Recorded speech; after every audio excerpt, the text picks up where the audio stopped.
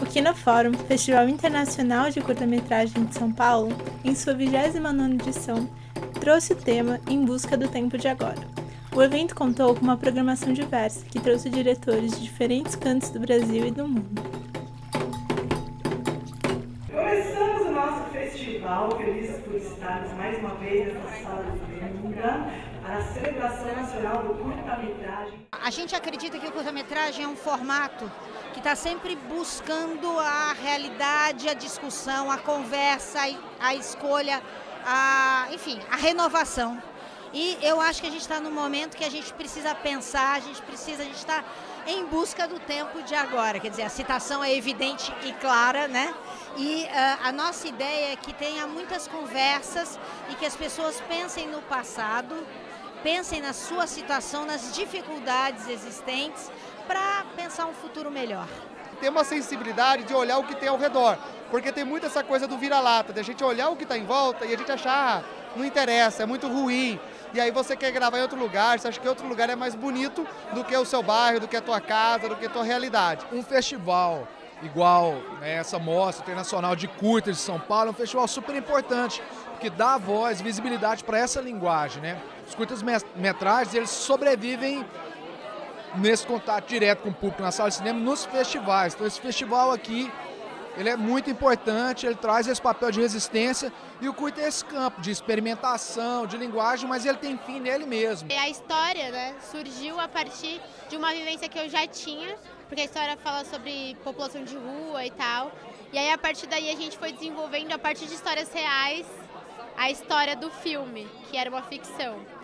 E foi muito louco, assim, esse processo colaborativo mesmo. Acho que foi a coisa mais rica, assim, da construção do filme, foi muitas mãos fazendo uma única coisa, sabe? Para construir o que, o que tá aí na tela. A mulher é bem difícil.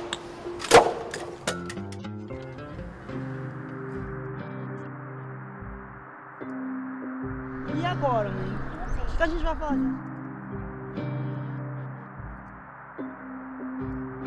Não me considero moradora de rua. Eu me considero uma passageira de rua.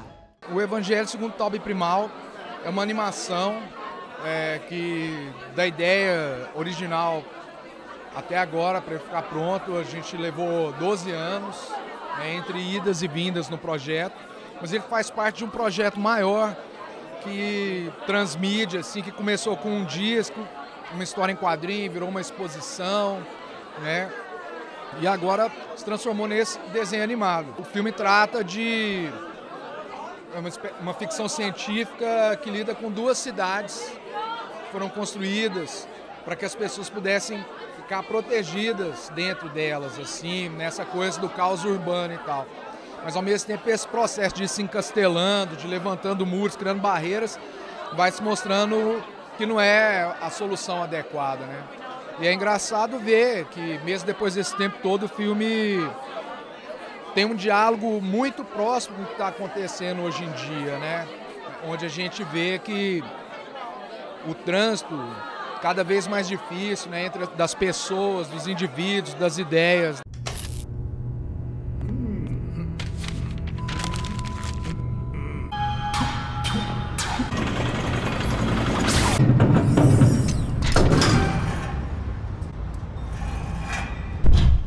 Desenvolvi um roteiro a partir de uma necessidade de um edital, que foi o edital de curtas-metragens da SPCine, que ele buscava essa questão das minorias. Onde está essa população negra, onde estão os deficientes, onde está a mulher, onde está o indígena. O edital buscava isso. A partir desse edital, eu escrevi o roteiro para o curta, porque eu pesquiso cultura afro-brasileira. E aí eu entrei né, nesse mundo, nesse universo audiovisual. E é muito louco, porque eu não me via produzindo e criando um filme, nem dirigindo e nem roteirizando um filme. E aí isso aconteceu. O filme ele demorou cerca de dois anos para ele chegar no que ele é hoje, que ele é o Caxangá. Ele nasce a partir de uma contranarrativa da cantiga Escravos de Jó, onde escravos de Jó jogavam Caxangá. E é uma releitura, então ela nasce a partir da, da, da releitura de que não é uma cantiga, e sim uma tática de fuga onde homens, na calada da noite, saíam em zigue-zague em busca de algo melhor. Homens que naquele momento eram escravizados. Então o filme ele, ele busca retratar isso. Quem eram esses homens naquele período e quem são esses atuais negros nesse período que a gente vive? Que ainda são a maioria da população e que vivem na periferia. Claro que a periferia não é somente negro, não é somente composta por pessoas negras, mas quem são essas pessoas e onde elas estão? Então o filme ele pensa um pouco disso. Então ele traz um pouco da memória ancestral, ele traz a cultura africana, ele traz toda a ancestralidade.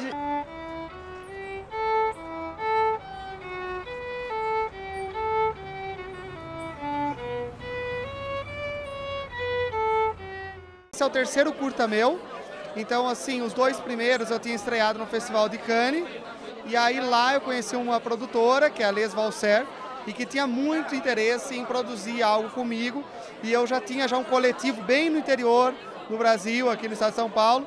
E há um coletivo assim que eu estreiei do zero, pessoal que sem fazer cinema antes, e a gente começou a fazer junto com um pouco dinheiro, fazendo com rifa. E aí esse pessoal da França quis apoiar. E aí eles perguntaram qual ideia que eu tinha. E aí eu tinha uma ideia de um projeto que é o Meninas Formicida, que é sobre garotas que trabalham em áreas de reflorestamento.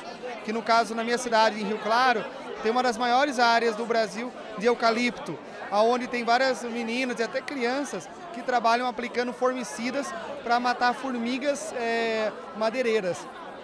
E aí essas meninas, elas, elas acabam se envolvendo com um elemento muito tóxico e tem vários problemas, não apenas social, mas também toda uma questão de saúde também. E aí dentro dessas meninas eu soube de uma história de uma delas que tinha que estava grávida e sofreu um aborto. Então, em cima disso, a gente fez uma analogia de toda uma história, além dessa questão social, dentro daquele lugar, trabalhando com baixíssimas, né, uma qualidade, uma coisa altamente, né, até tóxica, como também essa questão do, da situação dessa sociedade muito machista e como ela lidar com o aborto né, com uma gravidez que foi indesejada, mas que veio também por causa de um ato violento. Reproduzida. Quando o espermatozoide atinge o óvulo, nós temos uma vida. Tirar uma vida não é somente pecado, é errado. Na hora. É um ser vivo. Não é um pedaço de carne que se joga. Enquanto aí no caso de estupro, é, enfim, de criança, enfim, estupro em geral,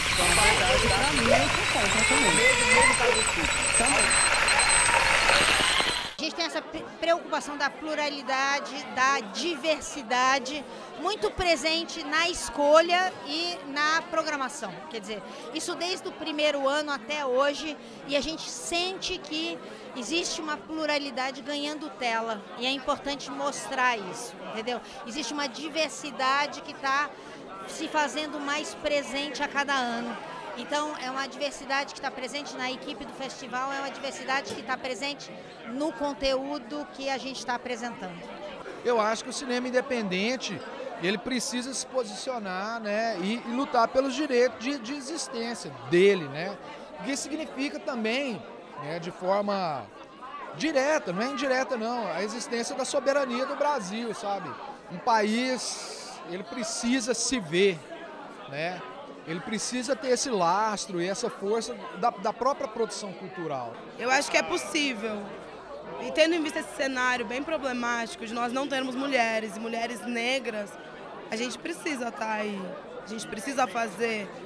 E fazer para ser reconhecido. Infelizmente tem muita mulher, muita mulher boa, criando, produzindo, produzindo muito conteúdo bom, só que elas não são reconhecidas como as mulheres não negras. Então é isso, a gente precisa ser visto. A gente precisa se mostrar. A gente existe, a gente resiste todos os dias. Então a gente precisa se mostrar, porque enquanto a gente não se mostrar, ninguém vai enxergar a gente. É mais ou menos isso. Eu não era do cinema. De repente parei no cinema e me mostrei. E fui vista. E estamos aqui no 29 Festival.